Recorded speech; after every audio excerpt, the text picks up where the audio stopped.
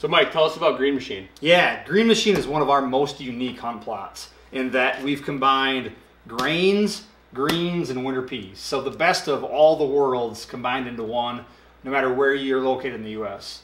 Um, this is one where a lot of our mixes you can plant in the spring or the fall. This is one we really recommend planting in the fall or late summer. Uh, because how quickly it grows and the plants that are in there, mm-hmm. you don't want them to get over mature on you, or you can get your, your plot can get out of control. So. Green Machine has winter rye, a variety of winter oats, a variety of winter peas, a variety of tillage radish, and then a rapeseed. So mm-hmm.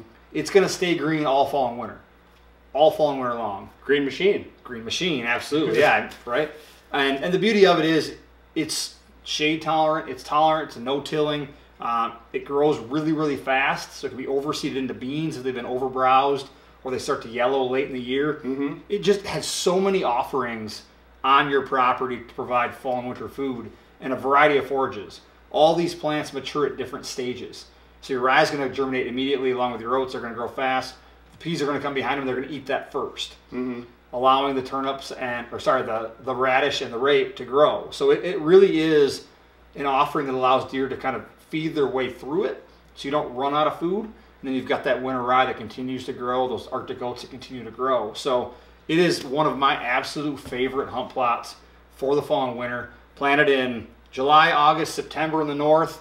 As you move south, then it, those dates fall further back, September, October, even November, because it can germinate and grow so, so quick. That rye can germinate in three days. Wow. So you're going to have really quick satisfaction, if you will. And it's great with limited equipment. It is, yeah. I mean, hand rakes, um, pull behinds. You don't need you don't need a big tractor by any means. This one's as easy to plant as any of them, um, and it's perfect for those little those little spots back in the woods where you've just got a clearing in the woods, and um, this is perfect for because the amount of forage and the green, uh, that green in the middle of nowhere is a huge draw.